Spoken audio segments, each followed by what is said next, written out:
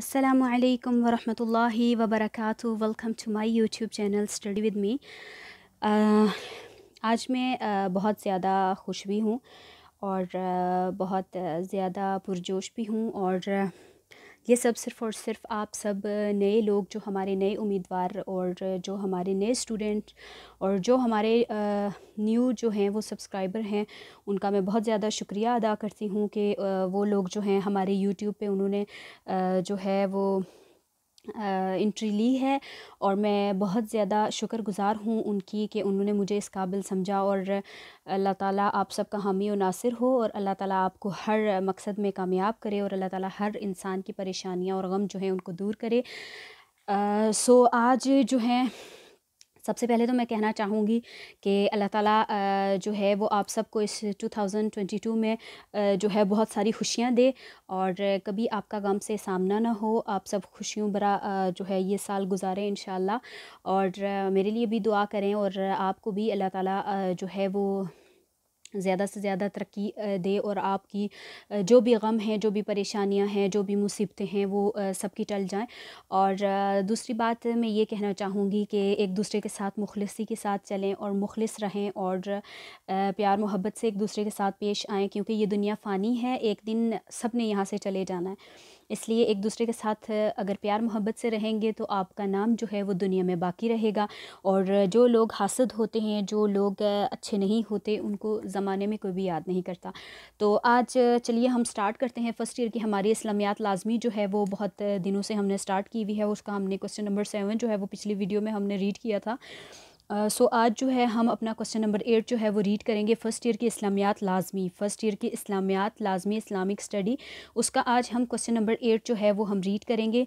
तो चलिए स्टार्ट करते हैं। स्टार्ट करने से पहले मैं कहना चाहूँगी अगर आप मेरे यूट्यूब चैनल पर न्यू हैं तो प्लीज़ अगर आप वीडियो को वॉच कर रहे हैं तो आप की बहुत मेहरबानी होगी कि आप इस वीडियो को जो है वो सब्सक्राइब कर लें और लाइक तो बनता ही है। यार अगर आप सब लोग वीडियोज़ को वॉच करते हो अगर आपका फ़ायदा हो रहा है तो आप दूसरों को भी फ़ायदा दें। तो please subscribe to my YouTube channel and press the bell icon ताकि हर नई आने वाली वीडियो जो है वो आप तक बर वक्त पहुँचती रहे। तो चलिए स्टार्ट करते हैं। जी तो स्टूडेंट्स आज जो है हमारा क्वेश्चन नंबर एट जो है इस्लामी तशख़ुस जो हमारा लेसन नंबर टू है, उसका क्वेश्चन नंबर एट जो है आज हम वो जो है वो रीड करेंगे और उसमें बहुत सारे पॉइंट आ रहे हैं। पिछले वीडियो में जो हमारी वीडियो पिछली जो हमारा क्वेश्चन था, पिछला वो सेवन था, इस्लाम ने औरत को माशरे में क्या मुकाम दिया है और उसके हकूक़ और उसकी ज़िम्मेदारियों के बारे में हमने रीड किया था। सो आज हमारा जो लेसन इस हमारे लेसन नंबर टू का जो क्वेश्चन है, वो हमारा क्वेश्चन नंबर एट है। और क्वेश्चन नंबर एट जो है वो ये है मदरजा झेल के हकूक़ फ़्राइज़ पर मुख्तसर नोट लिखें। मीन्स अब इसमें एक रिश्तेदार भी आ रहे हैं, हमसाए भी आ रहे हैं इस गैर मुस्लिम। अब हमें इन सब के बारे में नोट लिखना है। बज़ दफ़ा ऐसा भी होता है कि क्वेश्चन आपको जब आता है तो आपको सिर्फ़ मे बी वो सिर्फ़ यही कहें कि आप सिर्फ़ दो पर नोट लिखें, या फिर वो ये भी कह सकते हैं, आप इनमें से किसी एक पर नोट लिखें, या फिर वो ये भी कह सकते हैं कि आप इनमें से चारों पर नोट लिखें। तो चलिए स्टार्ट करते हैं। जी तो स्टूडेंट ये जो हमारा क्वेश्चन नंबर एट है क्वेश्चन नंबर एट जो है, वो हमारा सबसे पहले जो है वो स्टार्ट हो रहा है रिश्तेदारों के हकूक़ से। तो चलिए स्टार्ट करते हैं। बिसमीम रिश्तेदारों के हकूक़। वालदेन, औलाद और शरीक हयात बीवी के हकूक़ के बाद, इस्लाम रिश्तेदारों के हकूक़ पर ज़ोर देता है, क्योंकि माशरती ज़िंदगी में इंसान का वास्ता अहल खाना के बाद सबसे ज़्यादा उन्हीं से पड़ता है।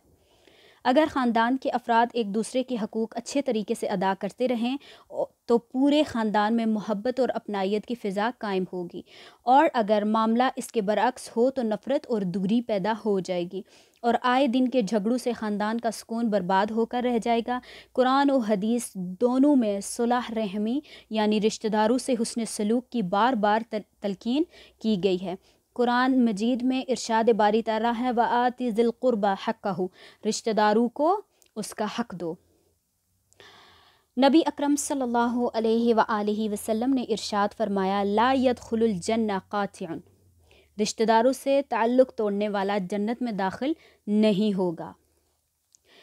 मुसलमानों को हुक्म दिया गया है कि अपने ज़रूरतमंद रिश्तेदारों के ज़रूरियात का ख्याल रखें, ताकि उन्हें गैर के गैरों के आगे हाथ ना फैलाना पड़े। तलकीन की गई है कि जो कुछ खुदा की राह में ख़र्च करें, उसमें तरजीह अपने रिश्तेदारों को दें और फिर उनके साथ जो सलूक करें, उन पर उन्हें ताने देकर अपना अजर व सवाब बर्बाद ना करें। उन्हें एहसास तन्हाई और एहसास कमतरी का शिकार ना होने दें। उनकी खुशी और गम में उनके साथ शरीक रहें। रिश्तेदारों के ज़रिए अमदाद का एक अहम फ़ायदा ये है कि उनसे इंसान की इज़्ज़त और नफ्स मजरूह नहीं होती और काम निकल जाता है। जबकि गैरों से मदद तलब करने में अपनी ही नहीं, ख़ानदान की इज़्ज़त भी घटती है। अगर हम में से हर शख्स खुदा और रसूल की हिदायत के मुताबिक अपने रिश्तेदारों के हकूक़ का ख्याल रखे तो माशरा बहुत सी ख़राबियों से महफूज रहेगा। अच्छा जी, अब ये जो हमने पॉइंट ये हमने पॉइंट जो अभी रीड किया है रिश्तेदारों के हवाले से, इस पर मैं आपसे ये कहना चाहूँगी कि बहुत सारे रिश्तेदार ऐसे भी हैं कि जो इस काबिल ही नहीं होते कि उनकी कोई मदद की जाए या अगर आप उनकी मदद करेंगे तो वो जो है वो आपके सर पर बैठकर सवार हो जाते हैं, आपके सर पर बैठकर नाचने लगते हैं। लेकिन फिर भी मैं कहना चाहूँगी कि प्लीज़ आप अपने रिश्तेदारों के साथ हुसन सलूक से पेश आएँ और उनका बहुत ज़्यादा ख्याल रखें। सबसे पहले किसी दूसरे को देने की बजाय अपने ख़ानदान में आप ये देखें और उसका जायज़ा लें कि कौन किस चीज़ का मोहताज है किसको की, क्या चीज़ ज़रूरत है। और दूसरी बात ये कि आजकल के ख़ानदान में जो लोग हैं ऐसा हो ही नहीं सकता कि वो किसी दूसरे की अच्छाई से या उसकी कामयाबी से खुश रहें ये तो आम सी बात है। सिर्फ़ एक नहीं, बल्कि आजकल तो दुनिया के सब ख़ानदानों में यही चल रहा है कि अगर किसी एक की कामयाबी होगी तो दूसरे को उसकी कामयाबी से जलन होगी और उसके बाद वो हासद बन जाते हैं, जादूगर बन जाते हैं, जादू करते हैं, रिश्ते, रिश्तेदारों में, रिश्तों में दराड़ें डालते हैं, तावीज़ वगैरह करना, ये तो हमारे, आप लोग सब जानते हैं हमारे माशरे में ये आम सी बात है। लोगों को क्योंकि सिर्फ़ और सिर्फ़ इस दुनिया की पड़ी रहती है, वो ये नहीं सोचते कि एक दिन हमें इस दुनिया फ़ानी से जाना है। लेकिन ऐसा रिश्ता और ऐसा ताल्लुक़ और ऐसी मोहब्बत और ऐसी फ़िज़ा को पाने की कोशिश, वो भी तावीज़ और गैर ज़रूरी जादू अमलियात से किसी के दिल में जगह बनाना या किसी को अपना बनाना, इससे इंसान का कोई फ़ायदा नहीं होने वाला। ये सिर्फ़ और सिर्फ़ ये दुनिया है और दुनिया में इंसान चाहे जो भी करे, बेशक उसको वक्ती वो चीज़ हासिल हो जाती है, लेकिन उसका फ़ायदा और उसका नुकसान उसे उसकी कब्र, उसकी आखरत में मिलेगा। अच्छा जी, हमारा अगला पॉइंट जो है वो इस के हकूक़ है। इस्लाम ने जहाँ मुसलमानों पर हसूल इल्म को फ़र्ज़ करार दिया, वहाँ उस्ताद को भी मज़्ज़ तरीन मुकाम अता किया ताकि उसकी जाह, जाहत से इल्म का वक़ार बढ़े और इल्म से इंसानियत का।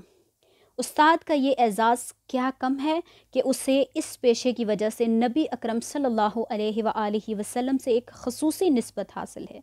जैसा कि रसूल अल्लाह सल्लल्लाहु अलैहि वसल्लम का इरशाद है इन नमा बुस्त मुझे तो इल्म ही बना, मुझे तो मुअल्लिम ही बनाकर भेजा गया है सुबहान अल्लाह माशाल्लाह। उस्ताद नई नस्ल की सही नशोनुमा करके उसके फ़िक्र अमल की असलाह करते हैं। नई नस्ल उन्हीं के फराहम करदा सांचों में ढलती है। उस्ताद के एज़ाज़ व एहतराम के बारे में हजूर सल्लल्लाहु अलैहि वसल्लम ने फरमाया तेरे तीन बाप हैं। एक वो जो तुझे अदम से वजूद में लाया, दूसरा वो जिसने तुझे अपनी बेटी दी, तीसरा वो जिसने तुझे इल्म की दौलत से माला माल किया। मीन्स के एक वो बाप जिसकी वजह से आप दुनिया में आए हैं। दूसरा वो बाप जिसने आपको अपनी बेटी दी मीन्स अगर वो बॉय है तो अगर ज़ाहिर है उसने शादी करके बीवी को अपने घर में लाया है तो जो उसकी बीवी के जो बाप हैं, वो उसका बाप होगा। और तीसरा वो बाप है जिसने आपको इल्म की दौलत से माला माल किया मीन्स उस्ताद। मुअल्लिम की हैसियत इल्म की बारिश की सी होती है और तलबा की ज़मीन की। जो ज़मीन बारिश को जज्ब करने की सलाहियत रखती है, वो बारिश के फैज़ से सरसब्ज़ व शादाब हो जाती है।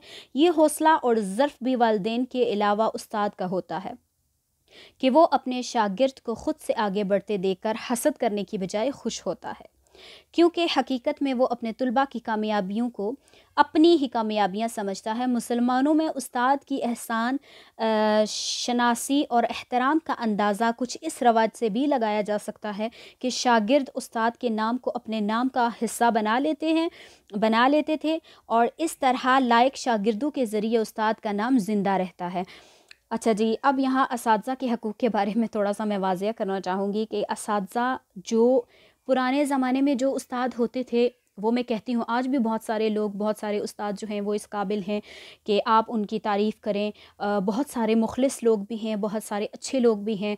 अब ये नहीं हो सकता कि जब माशरे में ये एक बात जो है, वो बहुत ज़्यादा जो है वो फैली हुई है कि एक मछली अगर गंदी हो तो वो सारे तालाब को गंदा कर देती है। ये ऐसा बिल्कुल नहीं है। हाँ ये होता होगा कि एक मछली पूरे तालाब को गंदा करती होगी, अगर वो गंदी होगी। लेकिन दूसरी बात यह है कि ये इंसान की सोच और अक्ल वसत के मुताबिक होता है कि इंसान की अपनी सोच किस तरह की है। अब मैं आपसे ये कहना चाहूँगी कि आए दिन हम ये सुनते हैं कि फ़लाँ उस्ताद ने भाई छोटी बच्ची जो है उसका रेप कर दिया। अच्छा जी फ़लाँ उस्ताद जो है वो बच्चों के साथ ज़्यादती करके भाई उसको मार दिया, ये कर दिया, वो कर दिया। खुदारा आप अपनी जिनसी लज्जत को पाने के लिए लोगों के मासूम बच्चों को निशाना ना बनाएँ। अपनी आखरत अगर आप सवार नहीं सकते, अगर आपका रिस्क, ये इल्म जो है, इल्म की दौलत जो है, ये आपका जो है वो रिस्क है। ये आपके रिस्क का एक वसीला है। अल्लाह ताला ने अगर आपको, चाहे वो जो भी उस्ताद हैं, मैं मैं सबसे ये गुजारिश करना चाहूँगी कि जो भी गंदी जहन के मालिक हैं अल्लाह ताला ने अगर आपको ये अच्छा ज़रिया दिया है कि आप दूसरों के बच्चों से अगर आप फ़ायदा उठा सकते हैं तो आप उनको इल्म की इल्म की रोशनी से उनको रोशन करें उनके दिलों को मनवर करें ना कि उनके जिस्म के साथ खेलने की कोशिश करें चाहे वो आ, मर्द हजरात हों चाहे वो औरतें हों। आजकल औरतें भी बहुत ज़्यादा मुलविस हैं बुरे कामों में वो भी लोगों के बच्चों के साथ खिलवाड़ करती हैं। बाज़ तो आजकल अक्सर मैं देखती हूँ कि लड़कियों को जो अक्सर लड़कियाँ ही जो हैं, बाज़ दफ़ा तो उनकी अपनी फ्रेंड्स ही उनका जो है वो सारा कुछ उनका ख़राब करके रख देती हैं। तो खुदारा, आप अपनी लज्जत के लिए, आप अपनी खुशनुदी के लिए दूसरों की ज़िंदगी को, दूसरों की लाइफ को जो है वो बर्बाद ना करें, क्योंकि ज़िंदगी फ़ानी है, आप आगे कुछ नहीं कर पाएँगे और ना ही आपका कोई साथ देने वाला होगा। तो हमारा उससे अगला जो पॉइंट है, वो है हमसायों के हकूक़। इंसान की रोज़मर्रा की ज़िंदगी में अपने हमसायों से वास्ता पड़ता है। चनाचा इस्लाम में पड़ोसियों के हकूक़ पर बड़ा ज़ोर दिया गया है और तीन किस्म के पड़ोसियों से हसन सलूक की खसूसी तलकिन फरमाई गई है। अव्वल वो पड़ोसी जो रिश्तेदार भी हो, दोम गैर रिश्तेदार पड़ोसी ख्वा वो गैर मुस्लिम हों। सोम जिनसे आर्जी ताल्लुक़ कायम हो जाएँ मसलन हम पेशा हम जमात या शरीक सफ़र अफराद वगैरह। अच्छा जी, हमसायों के हकूक़ के बारे में मुतद अदीस रवायत की गई हैं, इनमें से चंद ये हैं। अच्छा जी, ये क्वेश्चन एक साथ मैंने शार्ट आंसर क्वेश्चन में, वैसे तो मैं आपको लास्ट में इस लेसन के क्वेश्चन जो हैं, वो शार्ट आंसर क्वेश्चन जो भी हैं, वो मैं आपको बताऊँगी, लेकिन साथ में मैं आपको साथ साथ भी बताना चाहूँगी कि हमसाए के चार हकूक़ तहरीर कीजिए यह आपको शार्ट आंसर क्वेश्चन में आ सकता है, इसलिए आप इसे अपनी नोटबुक पर नोट कर लें। अच्छा जी, उससे इसका जो इनमें से चंद ये हैं, उसका सबसे पहला जो पॉइंट है वो है, वो शख्स मोमिन नहीं जो अपने हमसाए की भूख से बेनियाज होकर शकम सैर हो। दूसरा, तुम में से अफजल शख्स वो है जो अपने हमसाए के हमसाए के हक़ में बेहतर है। तीसरा, अगर पड़ोसी को मदद की ज़रूरत पड़े तो इसकी मदद करो, कर्ज मांगे तो दो, मोहताज हो जाए तो उसकी माली अमदाद करो, बीमार पड़े, बीमार पड़ जाए तो इलाज करो। इलाज करवाओ और मर जाए तो जनाजे के साथ कब्रिस्तान जाओ और इसके बच्चों की देखभाल करो। अगर उसे कोई एजाज़ हासिल हो तो उसे मुबारकबाद दो। अगर मुसीबत में मुबतला हो जाए तो उससे हमदर्दी करो। बग़ैर इजाज़त अपनी दीवार इतनी ऊँची ना करो कि उसके लिए रोशनी और हवा हवा हवा रुक जाए, सॉरी, रोशनी और हवा रुक जाए। कोई मेवा या सौगात वगैरह लाओ तो उसे भी बेचो हज़रत मुजाहिद रज़ी अल्लाह फरमाते हैं कि रसूल अक्रम सल्लल्लाहु पड़ोसियों के हकूक़ के बारे में इतनी शिद्दत से ताकद कर फरमाते थे कि हम सोचने लगते कि शायद मे, मीरास में भी पड़ोसियों का हिस्सा रख दिया जाएगा। एक बार आप सल्लल्लाहु अलैहि वसल्लम की महफ़िल में एक औरत का ज़िक्र आया कि वो बड़ी इबादत गुजार और परहेज़गार है, दिन में रोज़े रखती है और रात को तहजद अदा करती है। लेकिन पड़ोसियों को तंग करती है तो आप सल्लल्लाहु अलैहि वसल्लम ने फरमाया, वो दोजखी है। और एक दूसरी औरत के बारे में अर्ज़ किया गया कि वो सिर्फ़ फ़राइज़ इबादत अदा करती है, लेकिन हमसायों के हकूक़ का ख्याल रखती है। हजूर सल्लल्लाहु अलैहि वसल्लम ने फरमाया, वो जन्नती है। अच्छा जी, उससे अगला पॉइंट जो है वो गैर मुस्लिमों के हकूक़ के हवाले से है। अल्लाह ताला ने कुरान करीम में इस बात की सराहत फरमा दी है कि काफिर और मुशरक हरगिज़ हरगिज़ मुसलमानों के दोस्त नहीं हो सकते। लेकिन इसके बावजूद गैर मुस्लिमों के साथ हुसन सलूक से पेश आने की हिदायत की है। ये सिर्फ़ इस्लाम की खूबी है कि वो गैर मुस्लिमों को मुसलमानों के से शहरी हकूक़ अता करता है और मुसलमानों को तलकिन करता है कि वो इससे शफ़क़त आमेज़ बर्ताव करें। इरशाद बारी ताला है वला यजरिमन कुम शनआन कौमिन अला अल्लाह तदिलो इदिलो हुआ अकरबू तकवा ये सूरतुलमाइदा की आयत है और किसी कौम की दुश्मनी के बायस इंसाफ को हरगिज़ न छोड़ो अदल करो यही बात ज़्यादा नज़दीक है तकवा से इस्लाम चाहता है कि इसके पैरोकार गैर मुस्लिमों से वैसा ही बर्ताव करें वैसा ही बर्ताव करें जैसा एक डॉक्टर मरीज़ से करता है इसी हसन सलूक से मुसलमानों ने गैर सॉरी इस हुसन, इसी हुसन सलूक से मुसलमानों ने हमेशा गैर मुस्लिम अकवाम के दिल जीत लिए।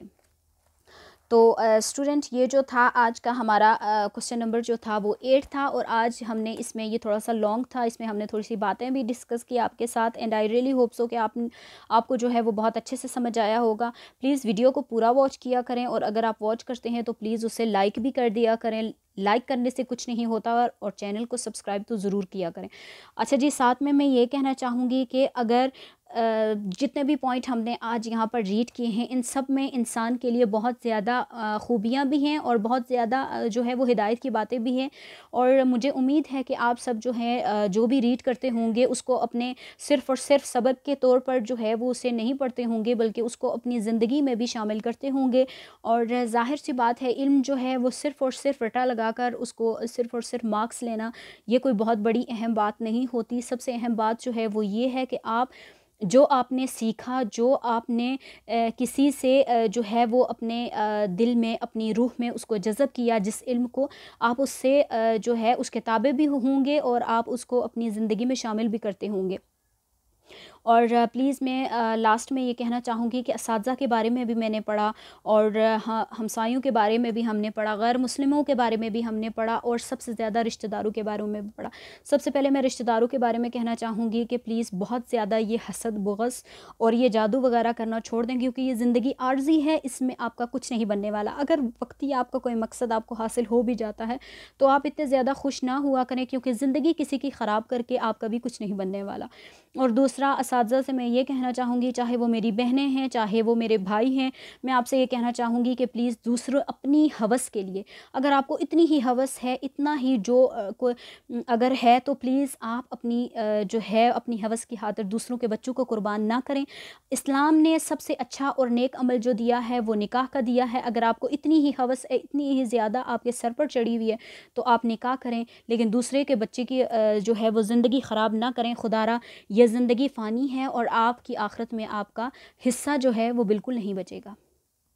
और आप सोच लें और आप ये जान लें कि आपको दुनिया चाहिए या आखिरत चाहिए, ये आपका मसला है।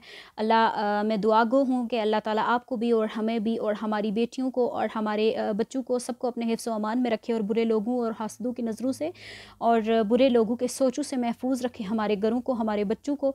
और मैं दुआ गो हूँ कि जितने भी इस जो हैं वो मेरे यूट्यूब चैनल पर आते हैं, अल्लाह ताला उन सबको कामयाब करे और अल्लाह ताला आप सबका हामी और नासिर हो।